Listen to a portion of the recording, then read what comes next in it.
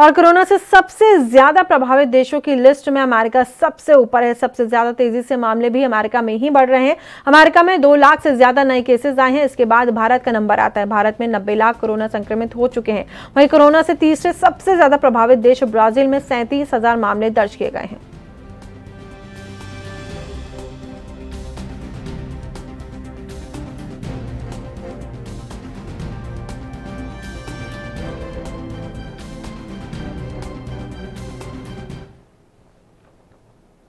और दुनिया भर में कोरोना संकट बरकरार है। हर दिन रिकॉर्ड स्तर पर कोरोना संक्रमण के मामले आ रहे हैं और संक्रमितों की जान जा रही दुनिया के 218 देशों में कोरोना के छह लाख उनसठ हज़ार से ज़्यादा नए मामले सामने आए हैं। वहीं ग्यारह हज़ार पचासी लोगों की मौत भी हुई। इससे पहले सबसे ज़्यादा आपको बता दें, छह लाख साठ हज़ार केस तेरह नवंबर को आए थे और 19 नवंबर को ग्यारह संक्रमितों की मौत हुई थी। बीते दिन दुनिया के सबसे ताकतवर देश अमेरिका में सबसे ज़्यादा मौत हुई है। इसके बाद Italy, France, Poland, Mexico, Bharat, Brazil Brazil, Britain में मौत के सबसे ज़्यादा केसेस सामने आए।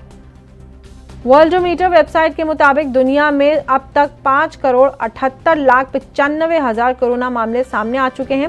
वहीं अब तक तेरह लाख छिहत्तर हज़ार आठ सौ छह लोगों की मौत हो चुकी है, जबकि चार करोड़ सत्तानबे हज़ार से ज़्यादा लोग ठीक होकर के घर जा चुके हैं। वहीं एक करोड़ चौसठ लाख बीस हज़ार लोग अभी भी कोरोना संक्रमित हैं, उनका इलाज चल रहा है।